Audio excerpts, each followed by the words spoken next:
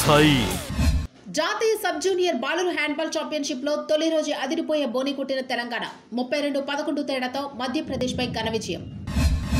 ఈ నెల పది నుంచి పన్నెండు వరకు గుంటూరులో రాష్ట్ర స్థాయి సీనియర్ సాఫ్ట్బాల్ పోటీలు. జిల్లా sports authority chief coach MNV Raju చేతుల మీదుగా డిఎస్ఎస్ స్టేడియంలో క్రీడా దుస్తుల పంపిణీ. బిగ్ బాష్ లీగ్లో మరో భారత మహిళా క్రికెటర్. మహిళల బీబీఎల్ టోర్నీలో పూనం యాదవ్. డెన్మార్క్ వేదికగా నేటి నుంచి Thomas Uber Cup tourney Saina Sai Praneeth పైనే ఆశలని. ఆఖరి బంతికి సిక్సర్ బాది బెంగళూరును గెలిపించిన శ్రీకర్ చివరి పోరులో ఢిల్లీ ఓటమి.